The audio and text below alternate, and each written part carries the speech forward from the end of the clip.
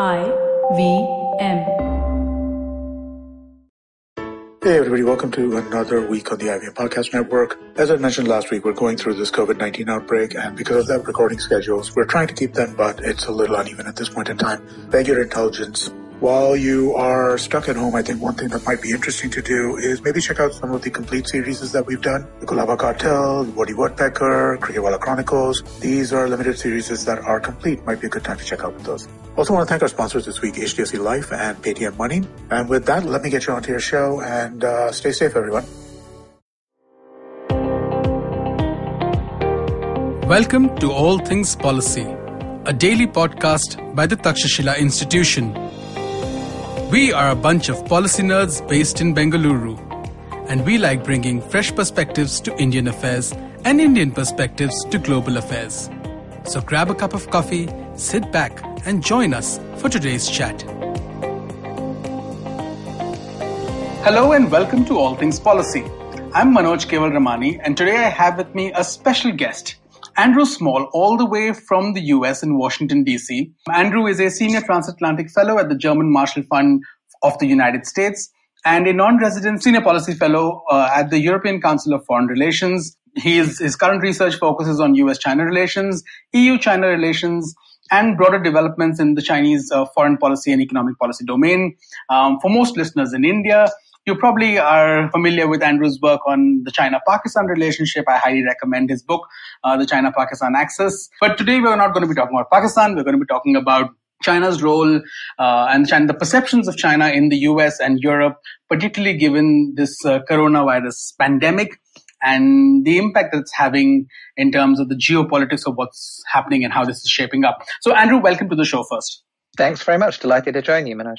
It's a pleasure. Um, Andrew, so let me begin with sort of looking at the US right now. Okay, so today we have about 65, 68,000 cases in US. Uh, you're sitting in DC. Uh, what's the scenario like right now over there, given that all the talk is that the US is now going to be the epicenter for this pandemic? Uh, well, so I mean, the situation in the US, I mean, as as with a number of the the locations where testing hasn't taken off on, on a large enough scale, um, it, there are still elements um, that, that, that, are hard to predict in terms of um, how this is going to ripple out across the country. Um, there's very differentiated responses in different states. There are different epicenters.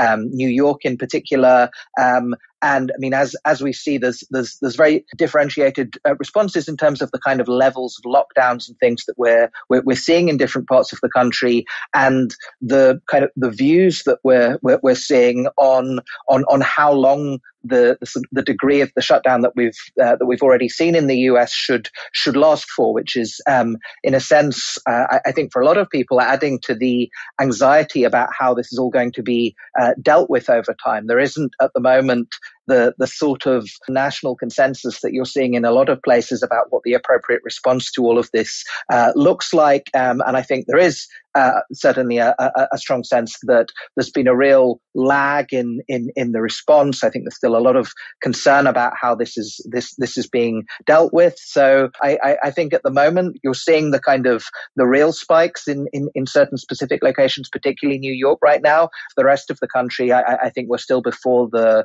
the, the, the real kind of peak of the storm. Which is fascinating, right? Because the fact that the US hasn't been able to build that national consensus and the fact that, you know, in the early days of the outbreak in China, I mean, I remember because in January, Trump was in India and there was a conversation about you know how this is being handled in the US and I remember there was this comment by Trump saying there's one case it's from China you're all going to be fine to then going there well this is a hoax to then going to something completely different uh, and today to the point where there was over the last couple of weeks this entire wrangling over naming uh, the virus, you know, the COVID-19 name, uh, and Trump calling it the Chinese virus and Pompeo, you know, pushing the idea of, you know, blaming China and the Chinese pushing back on all this. A lot of this has to do with domestic management in America in terms of how they've managed the outbreak in America, but also in terms of there's this geopolitical wrangling that's going on. Um, is there this sense of uh, outrage with regard to China within sort of is this sort of widespread in the U.S. or is it uh, you know a specific political class? Is it bipartisan? Is it what's the public mood? Well, I mean, I, I think on this you have two different things going on. One is clearly a shared sense um, in within the US, whether the public, kind of on a bipartisan basis, that not just China um, as such, but the specific way that the Chinese Communist Party uh, handled the initial outbreak of the, the virus in Wuhan has had a significant effect on uh, the degree to which the virus has, has spread. That if a different system had been in place on, on, on the Chinese side, then it may have been possible to lock this down um, at a much, much earlier stage. Uh, so I think there is a kind of shared sense of culpability there on the Chinese part. At the same time, you also have a high degree of blame deflection taking place on, this as well, because I think there are plenty of people who think, regardless of how this um, uh, started, the response from, from the US side should have been uh, much, much, much more effective, um, and the, the kind of denials that we saw from Trump were also kind of systemically conducive to a, a less than adequate response on, on the US side. And so I, I think in terms of the the language um, around Chinese virus, Wuhan virus, things things like that, um, I'm not sure there'd be a bipartisan consensus on on, on taking that sort of approach. I, I think there's also concerns about the uh, the implications for, for instance, racist attacks on Asian Americans, which we've seen taking off as a result of this. Um, so I, I, think that strand of it, the blame, I, I think is, is, is well understood to be on, on the Chinese side. But I, I think for a lot of people, the concern right now is not the attribution of, of initial blame. It's, it's what's happening right now, um, how, what sort of response the US can be putting in place that's effective, and some degree of analysis of, of how we got to this stage uh, here, given that we've had several months of lead time to be able to prepare better for this. From a broader point of view, I mean, the fact that, uh, so like you've clearly identified that there are a couple of different strands to this, and one of these is this sort of xenophobic strand of thought. One of these is uh, a sense that, you know, shared sense of culpability that the Communist Party's failures uh, in December, January in acting to contain uh, the, the outbreak and actually actively suppressing the information. Um, and then subsequently now in terms of, you know, how do we actually manage what we have on our hands right now? But there's a sort of a common thread, right? You know, each of these sort of plays on the other. So, and that's what you're seeing today when there's a conversation going on at the, you know, there are stories about this conversation at the UN Security Council having a discussion on this, or, or there was a conversation between the G7 foreign ministers, if I'm correct, and there was the argument that, well, we can't, or the leaders, we couldn't come up with a common statement because of the US insistence that this should be called the Wuhan virus. So each of these strands sort of plays onto the other and it stops cooperation. And, and that particular G7 story also tells you a little bit about somewhat of a split within uh, the US and its European allies, right? Yes, I mean, if we had a number of potential alternatives, I mean, there are alternative Republican presidents, there are alternative Democratic presidents who would be dealing with this differently. I, think some of this does come down to this specific administration. But yes, I mean, I, I think the view on the on the European side, which, um, as I'm sure we'll get into in the discussions, has also been pushing back uh, quite hard um, on on China recently about how it's been uh, dealing with with the crisis and, and all the propaganda that we've been seeing from the Chinese side too. Um, but pointless forms of um, confrontation right now are, I think, understood to be uh, poorly judged in terms of what the priorities are around the the, the response. We we don't people know that this this originated in in in Wuhan. They they know this started in China. Most people know exactly as you said the degree of culpability that, that the party bears for its initial cover up and suppression of the information. We know this, and we now need to focus cooperatively um, on dealing with the set of issues. And if the U.S. administration puts active obstacles in place to, to doing that, I, I think that's just seen as uh, needless and unhelpful. And the Chinese response, I think, is also understood in in lots of respects to be unhelpful because we're we're being. Uh, I mean, China has not responded to this with a sort of mea culpa. Um, we we failed in the initial stages, but now let's kind of quietly get on with cleaning up a lot of this uh, this mess and doing what we can. Instead, we're subjected to all of these kind of propaganda operations to suggest that actually the party and the, and the Chinese system worked spectacularly well, and China is to be praised for its response to the to, to the virus, um, and and and all of these sorts of things, which which came up in the discussions in in the last 24 hours, and also created an obstacle. So I I, I think I think on both sides um, there is the the sense right now that the kind of politics and the propaganda uh, around this are starting to take on a, a, very unhelpful role when it comes to the actual practicalities of, of, of dealing with the response. And I, I, think on the European side, um, but I think in lots of other places as well, I, I, think the interest would really be in putting a number of these issues aside for now and, and, and focusing instead on um, more effective collective responses. Yeah, I tend to agree with that. I mean, I recently did a piece on the kind of information that's the kind of sort of narrative that's coming out from China, uh, and it's quite diverse. It's uh, at one level, it's about sort of deflection. Uh, at another level, which was sort of characterized by this idea that oh, was it the U.S. military which planted this virus and something like that? You know, so there's conspiracy theories too. There is an argument with uh, which uh, Zhong Nanshan put forward, which was essentially that well, it might have first been detected in Wuhan, but that does not imply origin. Um, and then there was much more down the line about well, okay, we can leave all this aside, but look at how much aid and how much support we are providing and you know we are sort of doing this bilateral initiative with different countries. We're also participating in a multilateral effort. I mean uh, xi jinping spoke to uh, uh, emmanuel macron this week and he was talking to him about a, if I, and if i get this correct he was talking to him about a shared community of health for mankind which rings as, as political as anything in the world from coming out from a Chinese news agency. So uh, there's a lot of this that they're trying to push, you know, where, uh, you know, where these leaders which are now providing international public health goods. And uh, there's a lot of friction because of that within the EU. Um, so a lot of the, a lot of this sort of pushback. I mean, I, I, can see this in India where there's a lot of anger on social media with regard to China, and the anger goes from well, you created this problem and now you're acting as though you're, sol- you're resolving it for the world and you're this grand savior. How is this playing out in Europe? What is the sort of response in Europe, given that there are also dynamics within the EU which should be at, so there's a lot of friction within the EU, given that countries would need support, and if every country is going is going into a lockdown and is taking care of itself right now, how would this play out within the European Union? So I, I, think within Europe generally, I think in the first phase of this, it appeared China, to a certain extent, was swinging in to be helpful. They were providing medical equipment and and, and so on. Um, there, there have been kind of shortages in Europe. There has been a need to to, to get this equipment in. Um, China, of course, had surged its own production capacity. It already was a major source of production um, capacity in, in the world for a lot of this uh, equipment.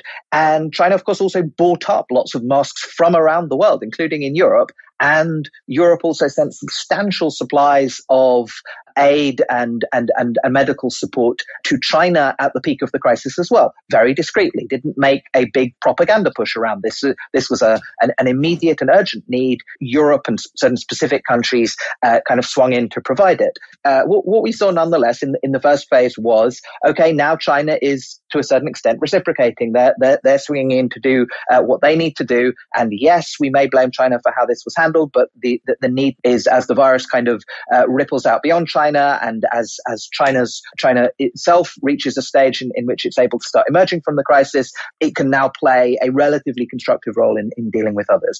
Um, and so I, I, think there was a sense in Europe um, from a number of countries that was, okay, put geopolitics aside, let's, uh, let's focus on crisis response. But then exactly the, what you just described in terms of the, the different measures that, that China's been taking, certainly some active disinformation around the source of the virus, which I, I think is not the main concern actually on the, on, on the European side. I think the main concern has been this combination of a propaganda push essentially to show that China is uniquely swinging in to help where Europe in particular, within Europe, uh, other European countries, the EU itself are implicitly failing. And the fact that China's worked hand in hand with a number of politicians uh, inside the European Union and outside, in the in the case of, of Serbia, um, essentially to push this this narrative. I mean, they've worked three of the most sort of obvious cases in in in the last uh, week or so have been Viktor Orban, who, of course, um, in, in Hungary um, has a sort of substantial pre-existing hostile agenda to the EU. Luigi Di Maio, um, the five-star uh, leader and Italian foreign minister, who also has a certain amount of animus directed at the EU, and Vucic, the in in Serbia, um, who also came out and made this public, big public statement about China's there in our hour of need, and and and and the European Union isn't, and and all of this sort of thing. So I think the sense is that what China's been doing has worked in concert with um, and been instrumentalized by, but to a certain extent that China's kind of encouraged this narrative that Europe is failing, other member states are failing, and China is the only one who can who can help. So what you've started to, to, to get as a result is, I think, much, much, much more pushback from a number of the major member states. We've seen it from France, we've seen it from Germany, we've seen it within the debate in Italy itself, pushing back against these efforts. And then most recently on on on Monday, um, after the meeting of European foreign ministers, uh, you have this very striking piece that came out from the EU High Representative for Foreign Policy, um, effectively the, the kind of EU's foreign policy chief, Borrell, pushing back against this kind of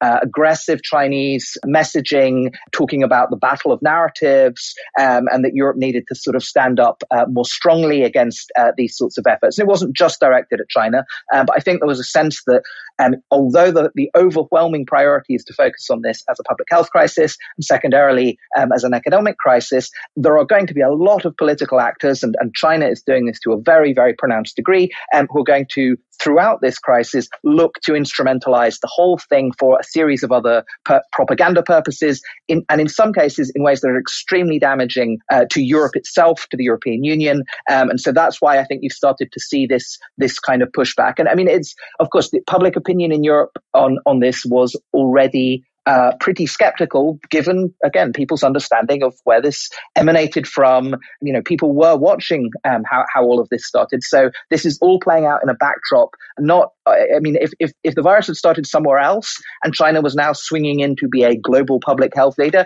I think it would still have wound people up a little bit, this, some of this positioning. But I think there is seen to be a certain uh, chutzpah about um, the way the thing played out and then coming in to say that China is actually the only one that can, is the responsible actor and, and validates the system and, and, and China is the, the leader in, the, in this area. I think that rankles somewhat more given the, the, the way the whole thing has evolved. Right, that's that's fascinating. I want to pick up this thread of the idea of the battle of narratives because that's something that uh, got some play in India also this week because we had uh, a piece by the former Indian Foreign Secretary Vijay Gokhale in which he was essentially arguing about how India manages this crisis would be important because from the point of view of the you know there being a systemic uh, sort of competition. I mean, I'm not quoting him, but that's the idea of the piece that you know there's a systemic competition. This is about India being a the world's largest democracy how does that handle this as opposed to the chinese system and you know in that sense this would be important from a future shaping of the world order point of view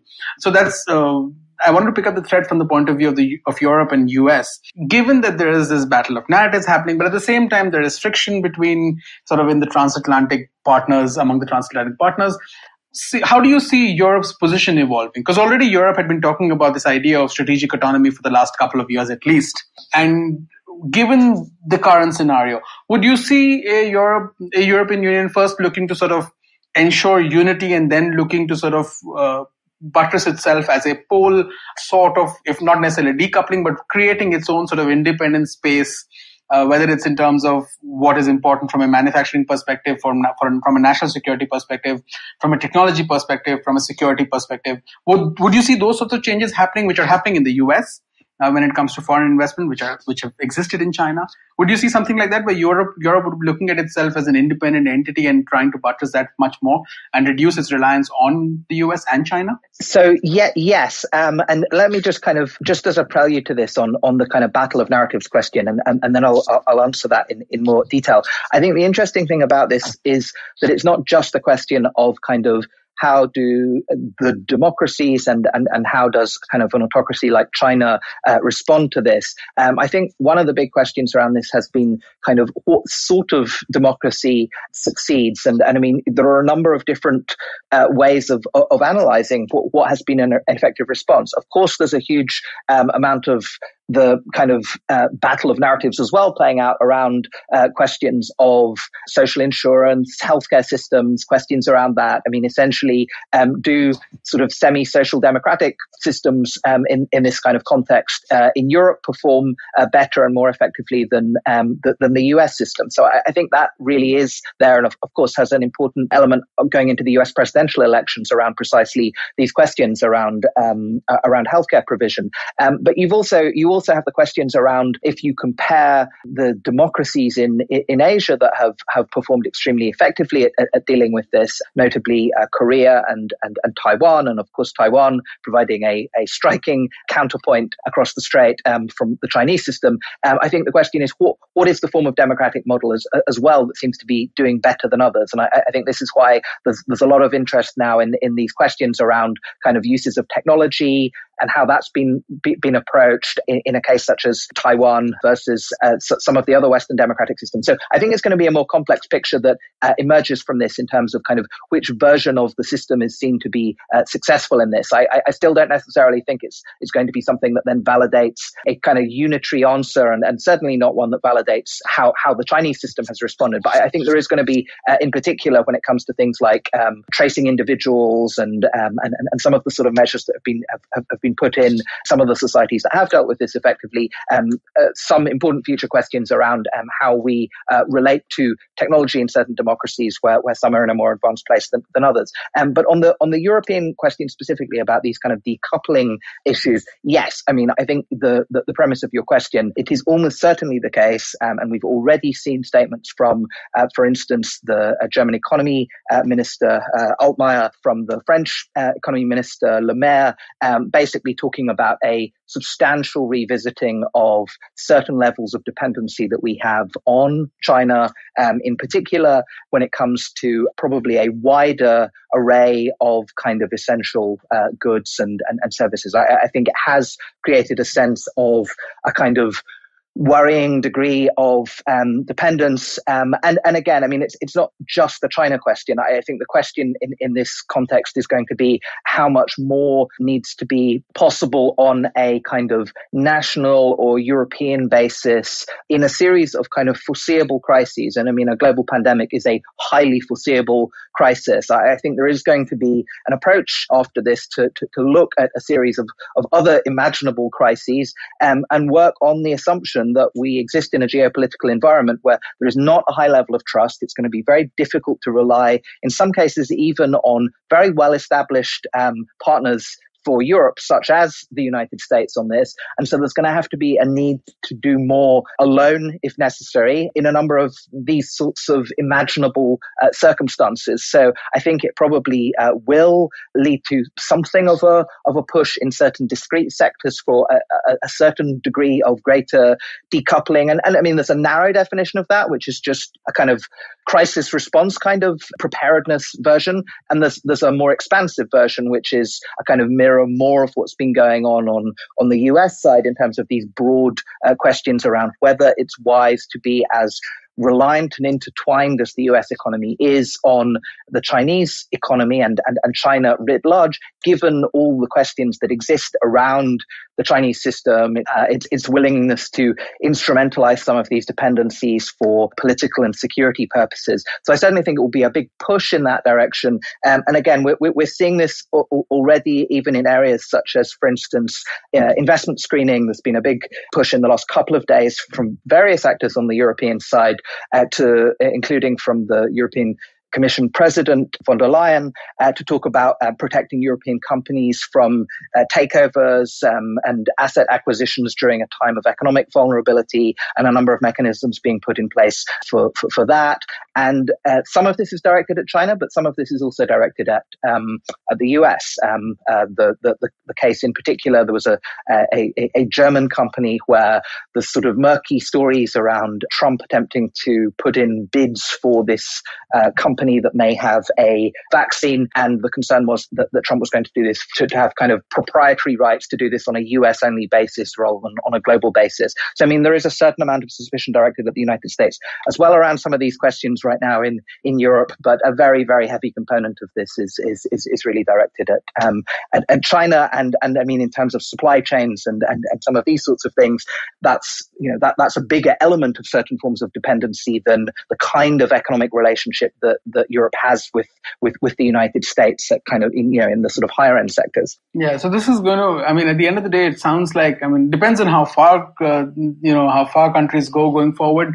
Um, this is going to put a, put massive pressure pressure on the sort of global trading system uh, and the interconnectedness, which then could sort of eventually down the road have a ripple effect on you know security concerns because uh, you know the lower your dependencies the greater risks of security might also arise in a more traditional sense because you might end up you know the costs of conflict tend to go lower as your dependencies also reduce or at least that could be the case. My final question to you is this and this is a bit of crystal ball gazing but uh, from the point of view of uh, you know the US and China we've seen a couple of very acrimonious years and January 15th was that uh, phase one trade deal, which sort of signaled some sort of a, you know, pause, if not some sort of an agreement per se.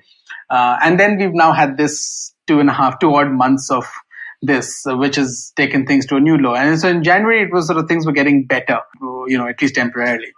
And now we're again in this phase where this is as bad as it's been for the longest time that I can imagine. Where do you see this going forward? I mean, do you see uh, both sides working together or do you see momentary sort of periods where they would work together and then sort of deepen friction? Or do you see this sort of progressively a downward trend that you're going to see i think a lot of it's going to depend on the elections in november um, because i think although there is a strong bipartisan consensus around the overall direction of us china policy certainly a sense among democrats as well that um, you know, competition with china great power competition generally needs to be a greater priority in US grand strategy as a whole. This, this is something that everyone accepts um, is going to be a much more endemic part of the global system and how the US has to handle itself in, in, in the years to come. I, I think there's, there's, there's, certainly bipartisan consensus around that. China as the top priority, yes. But I think on, on the Democratic side, there are some important differences that, that are there and, and, and would have an effect on,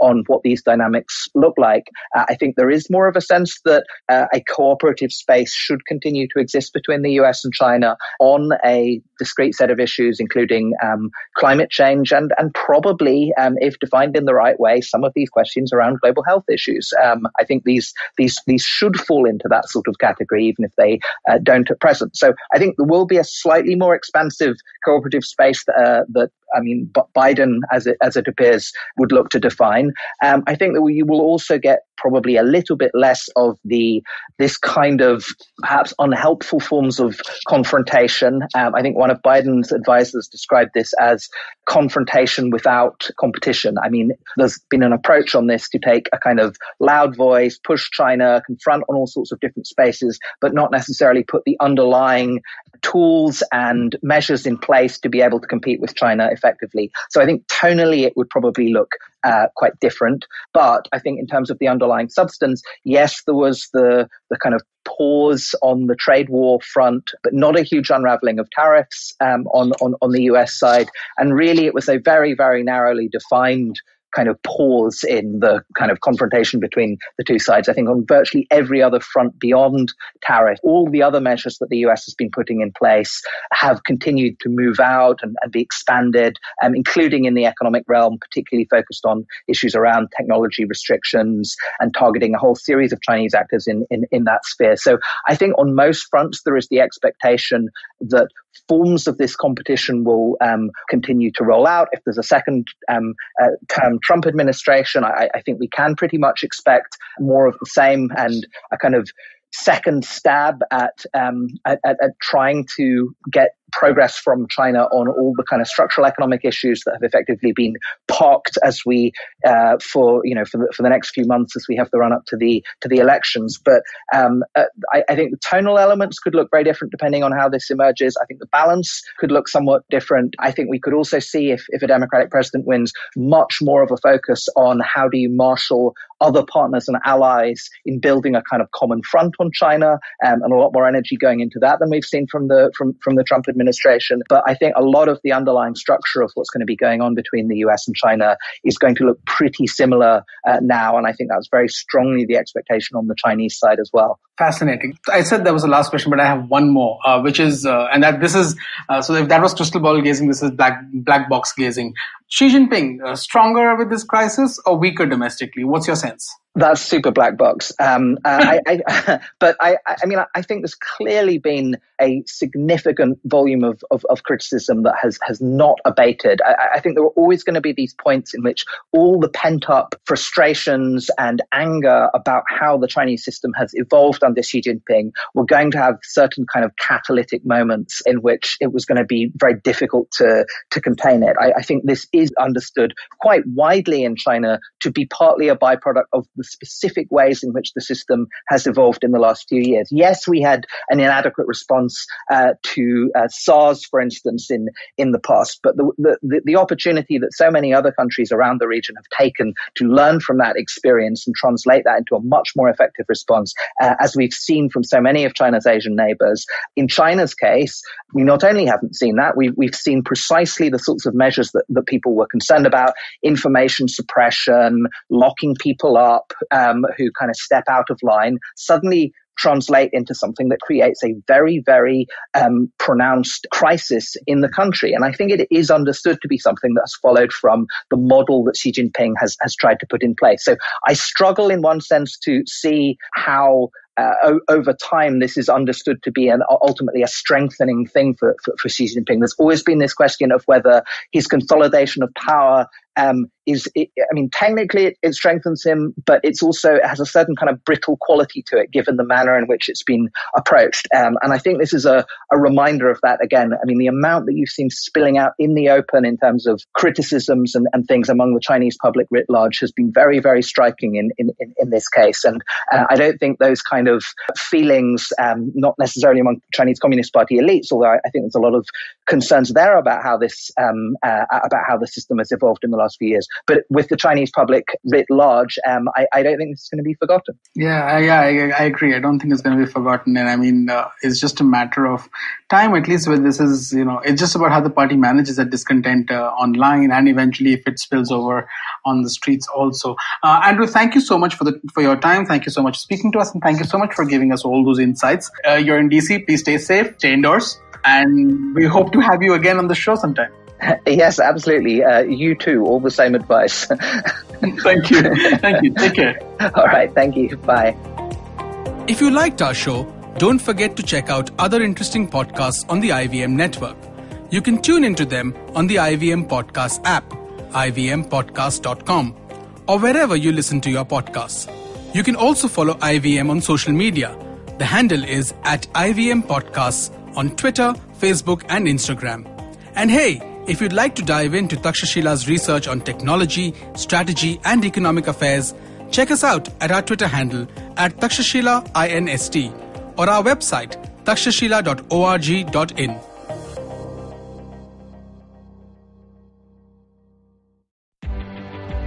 Hi, I'm Sarayu Natarajan. And I'm Alok Prasanna Kumar. And we are the hosts of the Ganatantra podcast. On this podcast, we speak to academics, social scientists, journalists, and activists to find out what's actually going on in Indian politics. On this podcast, we stay away from personality politics, intrigue, and gossip, and instead focus on the data, research, and analysis that drives all this. So tune in to the Ganatantra podcast, where new episodes are out every Wednesday on the IVM Podcast app, website, or wherever you listen to your podcasts.